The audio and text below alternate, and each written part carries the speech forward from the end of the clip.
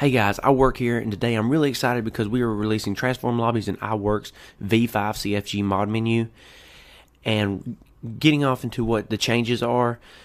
As you can see in the lobby, the name is now a light blue and V4 it was dark blue, so that's one little visual change we made. Also another visual change was the shader. In V4 it was a blue tiger shader and now we've got a full screen blue shader. So another nice little visual change and as far as changes in the actual menu, just some quick notes. We've integrated an aimbot menu, and in the aimbot menu, you've got the foul aimbot, machine gun aimbot, and no scope aimbot. And at the end of the video, guys, I do show the foul and the machine gun aimbot to show that it works. I failed to show the no scope aimbot, and I do apologize for that, but it does work flawlessly. And Guys, just a quick note for the aimbots to work flawlessly as it does in this video, you do have to be the host.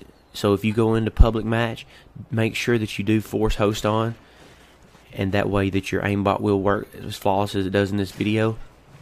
Another thing is I will be uploading a tutorial on how get how to get the no scope, the explosive bullets, and your perks to work for V5.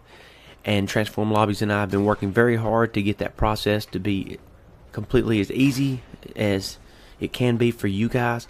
So definitely stay tuned for that tutorial as I'm pretty sure you're going to love this tutorial. It's going to be very easy.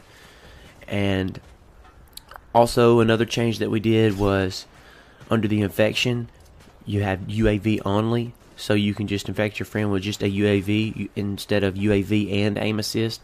And myself personally have had a lot of requests for that right there. So, you know, big thanks for Transform Lobbyz on that one. And another thing that changed was level 69. A lot of people wanted to be set on level 69 instead of 70, and we integrated that in the menu as well under the account.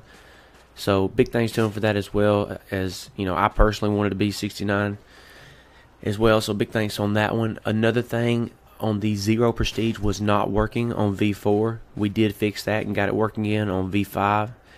Also under random, we integrated a disco version and a rainbow disco vision i'm sorry and rainbow vision into the random. Also added some more spams and a couple other things. I just wanted to go over the you know some of the major key points from v4 to v5 so before we release the download link same as v4 guys we want 50 likes. And then after that we will release the download link to the public. So definitely like this video.